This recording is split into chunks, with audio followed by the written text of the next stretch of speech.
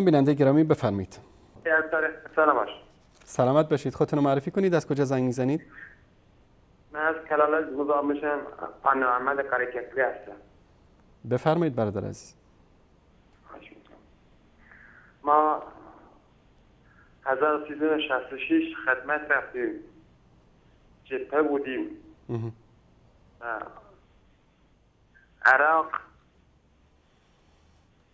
بله. کل ایران ها را قتل می‌کردن و اولین خطی ما که تو بانه بودیم.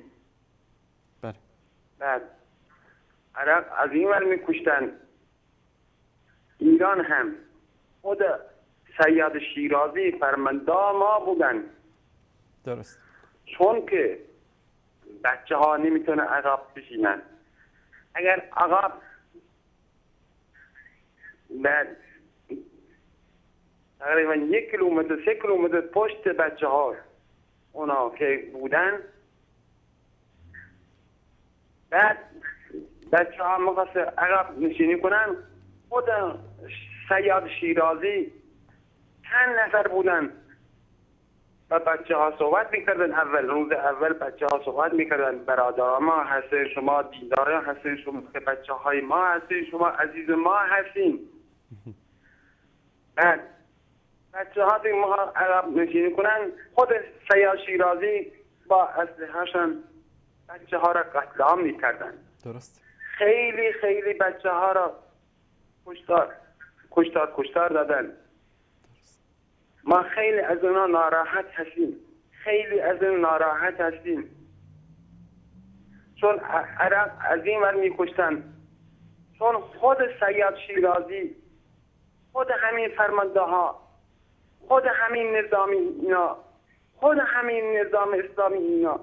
بچه ها را خیلی قتلام کردن درست. ما خیلی ناراحت هستیم. درست. تشکر برادر عزیز در این مورد صحبت می‌کنم. تشکر از شما. زنده باشید. خدا نگهدارت برادرمون از کلاله که در مورد این سیاد شیرازی و کشتار ملت کرد صحبت کردن ببینید یکی از بدبختی هایی که ملت های قهرمان ملت هایی که تاریخ درخشان دارند در در اسلام. این نبود رهبران و کسانی است که این ملت ها رو جمع بکنن. مشکل کردستان اولا نبود رهبران قوی و آگاه و مسلمان و دلسوز است که بتونن این ملت رو جمع بکنن. شما امروز در کردستان ایران نمی‌تونید یک شخصیتی رو که نمایندگی از همه ملت کرد بکنه معرفی بکنید. به احزاب به گروه ها به مذاهب مختلف تقسیم کردن. همین حکومت ایران که مثلا در در جنوب ایران گروهی رو سرکوب می‌کنه در کردستان همون گروه رو تقویت می‌کنه تا که احزاب و گروه ها و افکار گوناگون رو به جان هم دیگه بندازه.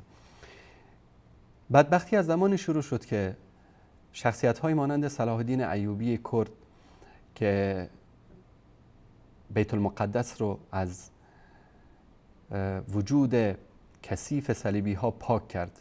یعنی اولین بار بیت المقدس رو عمر ابن خطاب رضی الله تعالی عنه فتح کرد برای بار دوم که اشغال شد توسط صلیبیا صلاح الدین ایوبی که یکی از مفاخر امت اسلامی است. بعد از اون دشمنان اسلام تصمیم گرفتن که چطور ما این ملت ها رو تیکه پارچه بکنیم چطور این ملت ها رو از هم جدا بکنیم. چطور کاری بکنیم که اینها دیگه نتونن سر بلند بکنن؟ همین بود که کردستان رو تقسیم کردن قسمتی رو به سوریه دادن قسمتی رو به ترکیه دادن قسمتی رو به عراق دادن قسمتی رو به ایران دادن. این مرزها رو ساختن. یکی شد کرد ایرانی یکی شد کرد عراقی یکی شد کرد ترکی یکی شد کرد سوری. همه اینا یکی هستن. شما تصور بکنید طرف پسر عموش در اون ور مرز زندگی می‌کنه. اه، عموش در اون ور مرز زندگی می‌کنه. خودش در این ور مرز وسطشون دیواری ساختن که سیم خاردار گرفتن و شما غیر از با ویزا و پاسپورتون هم اگر که بهتون, بهتون اجازه بدن نمی‌تونید برید.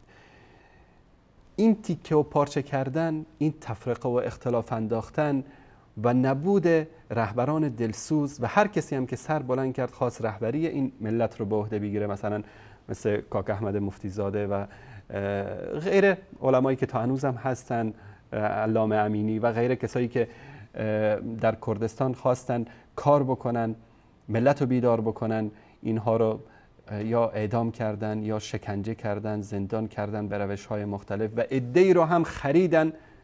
نمونایی از این بی غیرت ها رو می‌بینیم که در شبکه ولایت میارن به نام نمی‌دونم امام جمعه سنندج و امام جمعه فلانجا و کسانی که در شبکه های ظاهر میشن که در اون شبکه ها به بزرگان اهل سنت به ام المؤمنین عایشه صدیقه و اصحاب پیامبر بدترین تو اینها و اهانت ها میشه و اینها چشم و گوش بسته. اونجا میان مثل یه گسبی رو که به گاری میبندن چشاشو فقط اون جلو رو می‌بینه چپ و راستش رو نمی‌بینه. همینطوری انگار که هیچی نشنید از این شبکه اینا هیچ حرفی نزدن میاد در اونجا دم از وحدت و یا همون چیزایی که براشون نوشتن و حفظ کردن همون چیزا رو میان در این شبکه ها تکرار می‌کنن. نبوده رهبرانی که دلسوز باشن متدین باشن و همه ملت کرد رو داشته باشن. و ثانیا دسایس دشمنان اسلام که اومدن این ملت رو از هم تیکه پارچه کردن و زمان جنگ واقعا برادرمون راست گفتن. از یک طرف عراق بمباران می‌کرد از یک طرف ایران بمباران می‌کرد. اگر منطقه در کردستان رو عراق اشغال می‌کرد همین هواپیماهای ایرانی می اومدن بمباران می‌کردن.